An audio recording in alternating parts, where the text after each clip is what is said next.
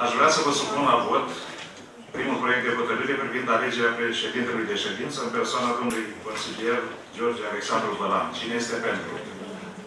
Unanimitate? Vă mulțumesc.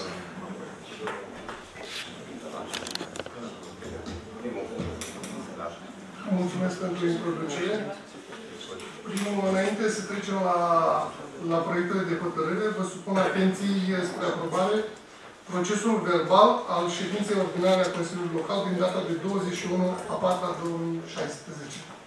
Cine este pentru? Abține? Împotrivă? Mulțumesc. Ordinea de zi conform dispoziției primarului. Trecem la proiectul de hotărâre numărul 2. Aprobăm ordinea de zi. Cu cele patru proiecte suplimentare de ordinea de zi.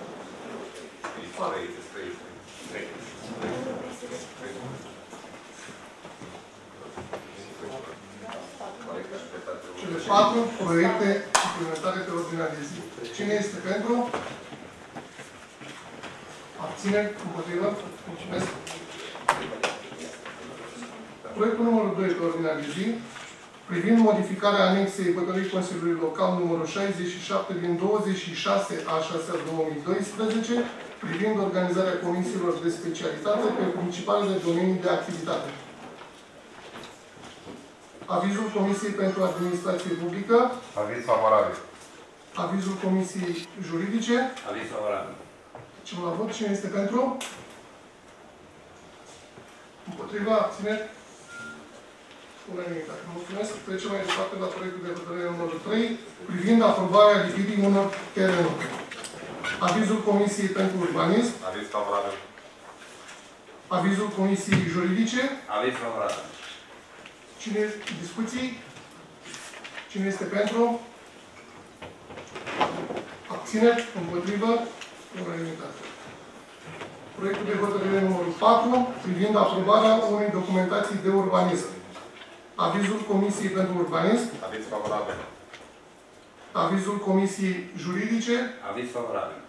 Discuții? Vă rog, domnul Pasit. Eu aș vrea să rog pe domnul primar să ne spună sensul ăsta giratoriu de la... De, ar fi fost necesar la Roman dacă nu era de Demanu acolo? Și o altă întrebare, cu ce contribuie de Demanu la finanțarea acestei lucrări mari? Corect, vă răspund. Sensul giratoriu trebuia făcut și dacă nu era de Demanu acolo. Pentru că sensul giratoriu face legătura dintre Drumul Național 2, E85 cum este cunoscut, și artera ocolitoare Roman Est. Mai mult decât atât, acolo va fi o influență majoră în trafic datorită amplasării stației de colectare, selecție și transfer a gunoiului din zona Roman Cordun, care va aduce gunoiul din Roman Metropolitan Așadar, va fi un uh, trafic major ridicat de acest transfer pe, de gunoi pe master plan. Mai mult decât atât, această arteră ocolitoare devine esențială prin faptul că tot gunoiul care ar fi fost transferat din zona de est a județului, din comunele de peste Siret și din partea de nord a județului, ar fi venit prin centru dacă nu ar fi existat această arteră ocolitoare. Prin urmare, această arteră ocolitoare nu numai că elimină traficul greu din municipiu, dar asigură și un transfer rapid, evitând conflictul în trafic și densitatea majoră prin mașini care vor transporta gunoiul din Roma metropolitan. Prin urmare, această arteră care se înțeapă în E85, la, și la sugestia Poliției Rutiere Județene, reclamă construirea unui sens giratoriu acolo, care să asigure așadar uh, acest punct de uh, influență. Dedemanu, în primul rând, uh, este o societate care a sprijinit și sprijină municipalitatea. Veți vedea, a și donat o parte din teren de care avem nevoie, pentru că când vorbim de sens giratoriu, vorbim ca despre un, într-un roman când e vorba de titlu. Titlul romanului nu reliefiază conținutul romanului în totalitate. Așa și aici, denumirea de sens giratoriu nu reliefează în totalitate lucrarea care s-a desfășurat acolo. Pentru acolo avem benzi de decelerare, avem benzi de selecție, refugiu și așa mai departe. O lucrare amplă care presupune un teren mai mult decât avea primăria care aparținea și unor alte entități, cum ar fi Dedeman, Arte Toscana, Primăria Cordun, Petrom, dar și privați. Dedemanu, Arte Toscana ne-au donat, donat acest teren și astăzi vom avea hotărâre prin care vom primi aceste terenuri din donație. Mai mult decât atât, Dedemanu a cumpărat de la un privat terenul de care avem noi nevoie și ne va dona și pe acela tot municipalității. Mai mult decât atât, Dedemanu se va implica și cu fondul în construirea sens, acestui sens girator. Am avut o negociere bună. Ăsta e un lucru bun. Felicitări. Mulțumim. Supunem la vot dacă nu mai sunt alte întrebări. Cine este pentru? Împotrivă? Abțineri? Mulțumesc. Trecem la următorul proiect de pe ordinea de zi. Proiect de hotărâre privind aprobarea încheierii unui acord de parteneriat cu Centrul Diecezan Caritas Iași. Avizul Comisiei pentru Administrație Publică Locală, Aviz favorabil. avizul Comisiei Juridice, Aviz favorabil. discuții, întrebări? Vreau să vă spun eu că este un uh, acord de parteneriat cadru în care primăria nu este implicată cu fonduri, dar în care primăria va colabora și va fi beneficiara unor servicii sociale pe care această asociație le are deja în municipiul Roman și am stipulat acest lucru și printr-un acord de parteneriat necesar în viitoarele proiecte de atragere a fondurilor structurale, atât de către uh, acest, uh, această asociație, dar și de către Direcția de Asistență Socială a municipiului Roman. Mulțumesc! Supunem spre aprobare. Cine este pentru? Abțineri? Împotrivă? Mulțumesc. Trecem mai departe. Proiect de hotărâre privind modificarea hotărârii Consiliului Local numărul 12 pe 2008 pentru aprobarea regulamentului de organizare și executare a serviciului public de transport în regim taxi. Avizul Comisiei pentru Administrație Publică Locală, Aviz favorabil. avizul Comisiei Juridice, Aviz favorabil. Discuții? Întrebări? Supunem la vot. Cine este pentru? Abțineri? Împotrivă? Mulțumesc. Trecem mai departe. Proiect de hotărâre privind aprobarea prelungirii unui contract. Avizul Comisiei pentru Urbanism, Aviz favorabil. avizul Comisiei Juridice, Aviz favorabil. discuții, întrebări? Supunem la vot. Cine este pentru? Abține? Împotrivă? Mulțumesc. Trecem mai departe. Proiect de hotărâre privind aprobarea preluării în folosință gratuită a unui spațiu. Avizul Comisiei pentru Buget Finanțe, Aviz favorabil. avizul Comisiei pentru Urbanism, Aviz favorabil.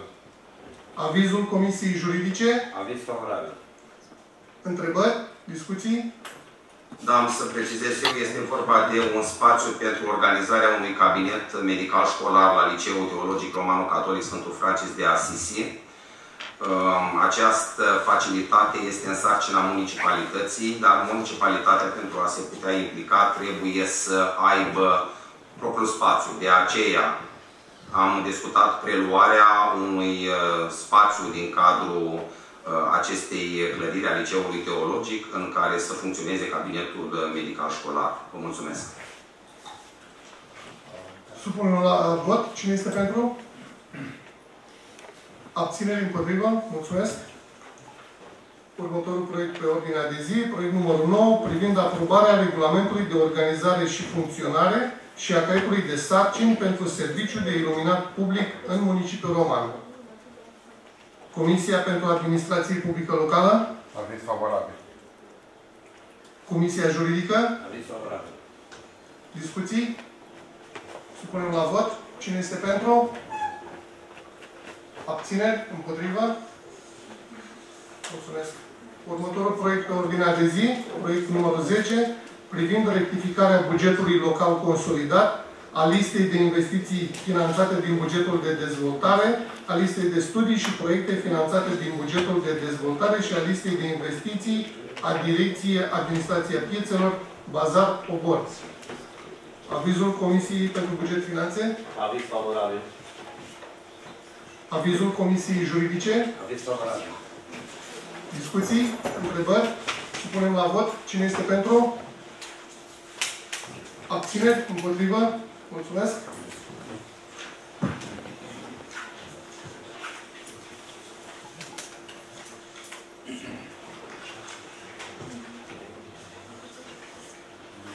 Următorul proiect de ordinea de zi privind aprobarea închirierii unui spațiu către Asociația Națională a Surzilor România, filiala Surzilor Neamț. Avizul Comisiei pentru Urbanism, Aviz favorabil. avizul Comisiei Juridice, Aviz favorabil. întrebări, discuții. Supunem la vot. Cine este pentru? Abțineri? Împotrivă? Mulțumesc.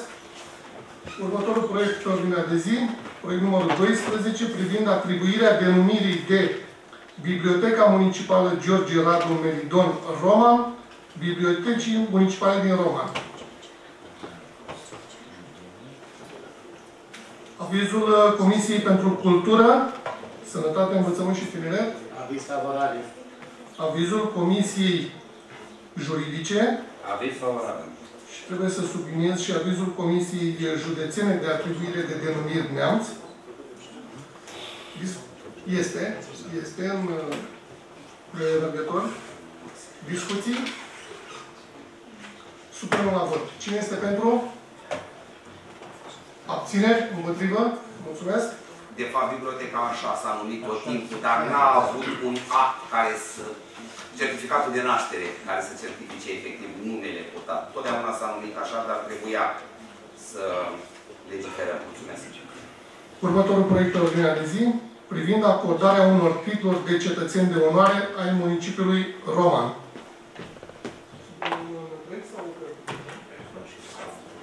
O, să- o să supunem la, în primul rând, avizul Comisiei pentru Buget Finanțe. Aviz favorabil, favorabil cu îndreptare de eroare materială la nume. Este vorba de Marin Dănuț Dănuț Nicolae. Da, Adunat Nicolae, da. da. Și avizul favorabil cu amendament. Avizul uh, Comisiei pentru Cultură și Culte. Aviz favorabil. Avizul Comisiei Juridice. Aviz favorabil. Da, deci este vorba de profesor dr. Nicolae Manulescu Strunga și inginer uh, Dănuț Marin Nicolae. Discuții? Cine este pentru? Abțineri? Împotriva? Mulțumesc. Următorul proiect de pe ordinea de zi de astăzi, proiectul numărul 14, privind aprobarea efectuării unor cheltuieli din bugetul local. Avizul Comisiei de Buget, Favorabil. Avizul Comisiei de Cultură, Culte și Sănătate, Aviz favorabil. avizul Comisiei Juridice, Aviz favorabil. discuții, întrebări, supunem la vot. Cine este pentru? Abțineri? Împotriva? Mulțumesc. Proiectul de hotărâre numărul 15 privind acceptarea unei donații. Avizul Comisiei pentru Urbanism, Aviz favorabil. avizul Comisiei Juridice, Aviz favorabil. Discuții, Este vorba despre unul din terenurile care intră în componența sensului giratoriu și ne-a fost donat. Dacă nu sunt alte întrebări, supun la vot. Cine este pentru? Abțineri? Împotrivă? Trecem la proiectele suplimentare. Proiect suplimentar numărul 1 privind aprobarea preluării în administrarea municipiului Roman a unui teren. Avizul Comisiei pentru Buget Finanțe, Aviz favorabil. avizul Comisiei pentru Urbanism, Aviz favorabil. avizul Comisiei Juridice, Aviz favorabil. întrebări, discuții? Este vorba despre terenul pe care îl preluăm tot pentru sensul giratoriu ca- pe care ne-l dă primăria Cordul. Cine este pentru? Abțineri? Împotrivă? Mulțumesc. Proiectul suplimentar numărul 2 pe ordinea de zi privind aprobarea, aprobarea planului de acțiune pentru energia durabilă a municipiului Roman. Avizul Comisiei de Administrație Publică Locală, Aviz favorabil. avizul Comisiei Juridice, Aviz favorabil. discuții, întrebări, Este vorba despre paiet, despre planul de acțiune pentru energie durabilă, un program în care Romanul a fost înscris în acea cursă cu cele 103 municipii din România, în care, după cum știți, Romanul s-a calificat în primele 5 câștigătoare, chiar de pe poziția 1, locul 1 pe România. Este un proiect finanțat de către Guvernul Elveției. Uh, suntem unul din primele municipii din România care vor avea plan de acțiune pe energie durabilă, esențial pentru atragerea fondurilor europene pe ceea ce înseamnă eficientizare energetică și cred că este un succes al nostru, al tuturor, că am reușit să configurăm acest plan de acțiune, repet încă o dată, cu finanțare elvețiană pentru un proiect în care România a câștigat de pe poziția întâi, Roma a câștigat pe poziția întâi în țară acest uh, proiect. Vă mulțumesc! Supunem la vot cine este pentru. Abțineri? Împotrivă? Mulțumesc. Trecem mai departe la proiectul uh, suplimentar numărul 3 privind aprobarea documentației tehnico-economice faza DALI și a indicatorilor tehnico-economici a proiectului și a cheltuielor ce vor fi efectuate în cadrul proiectului, care se numește Creșterea eficienței energetice în clădirile rezidențiale din municipiul Roman. Avizul Comisiei de Urbanism. Aviz favorabil. Avizul Comisiei de Buget Finanțe. Aviz favorabil. Discuții? Este vorba despre aprobarea indicatorilor tehnico-economici pentru primul pachet de blocuri care vor fi anvelopate în municipiul Roman. Așa cum am spus, luna mai, dincolo de celelalte activități care țin de conjunctura um, politică, electorală și așa mai departe, presupune un efort major din partea administrației, pentru că acum pregătim foarte multe proiecte care se depun cu deadline la sfârșitul lunii mai. Vorbim atât de proiectul pe proiectele pe monumente, pe care trebuie să le depunem în jur de 25 mai, și aici avem Casa Sergiu Celibidache și Muzeul Personalităților Romașcane, Casa Maulescu Strunga, două proiecte care deja sunt finalizate, avem avizele obținute și probabil săptămâna viitoare, într-o ședință extraordinară sau de îndată, vom aproba indicatorii tehnico-economici pentru a depune aceste proiecte la sfârșitul lunii mai. Vreau să vă informez că Ministerul Culturii a fost impresionat de aceste proiecte pe care le-am făcut și a solicitat primăriei Roman să intre cu um, know-how pe care îl au parteneri și să sprijine aceste proiecte pe cultură. Dar, mai repede decât uh, aceste două proiecte, tot în luna mai, sunt proiectele pentru eficientizare termică a locuințelor rezidențiale, adică anveloparea termică a blocurilor, așa cum știm, intrăm cu primul pachet, aprobăm indicatorii tehnico-economici și de aceea și în luna vi ă, săptămâna viitoare vom mai avea unele ședințe, pentru că suntem sub ă, presiunea depunerii de fond, proiecte europene pentru a atrage fonduri în municipiul Roma. Ele sunt cu updatări, cu modificări de ultimă oră ale legislației. Trebuie să venim să ne pliem pe tot ceea ce cere în, la Comisia Europeană, pe tot ceea ce precizează în detaliu Guvernul României pentru accederea acestor fonduri, încât în această perioadă avem o, o acțiune laborioasă pentru a atrage fonduri europene, fiind, dacă vreți, un capăt de pod foarte important pentru următorii ani și depinde de ceea ce va face administrația publică locală în această lună mai și iunie. Așa încât procedem la drum cu primele proiecte de atragere de fonduri europene în municipiul Roman. Vă mulțumesc! Dacă nu sunt alte întrebări, supunem la vot. Cine este pentru? Abțineri? Împotrivă? Mulțumesc! Și ultimul proiect uh, de pe ordinea de zi de astăzi, proiect suplimentar numărul 4, privind aprobarea inventarului parțial al terenurilor proprietate privată a municipiului Roman. Avizul Comisiei pentru Urbanism. Aviz favorabil. Avizul Comisiei Juridice. Aviz favorabil. Discuții, întrebări? Supunem la vot. Cine este pentru? Împotrivă? Abține? Unanimitate? Și cam atât a fost pentru ziua de astăzi. Nu intrăm în alte discuții să nu fim acuzați de campanie electorală. Nici nu vreau, eu atât doar vreau să vă anunț, vă mulțumesc pentru disponibilitate și colaborare și cu voia dumneavoastră săptămâna viitoare probabil vom mai avea o ședință de îndată sau extraordinară pentru aprobarea unor indicatori economici pentru alte proiecte care au deadline în luna mai. Vă mulțumesc frumos, vă urez multă sănătate și o zi bună tuturor!